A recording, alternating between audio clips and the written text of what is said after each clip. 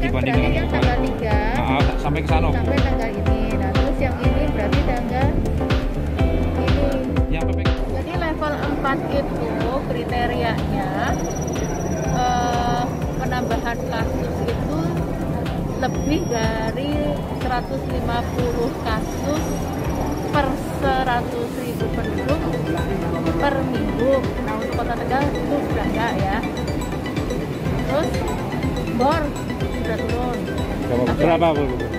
eh, sudah pokoknya sudah di bawah 80 ya. Terus eh, angka kematiannya yang masih angka kematian itu kalau lebih dari 15 per 100 ribu. Per 100 ribu penduduk per minggu. Nah itu masih Tinggi. kemarin saya sudah sampaikan datanya Berarti karena angka kematian, Bu. ya yang minggu kemarin Dari 15 jadi kan kita dari tanggal tiga nih tanggal tiga tiga ditambah tujuh sepuluh sepuluh tambah enam belas enam belas lebih dari lima belas yang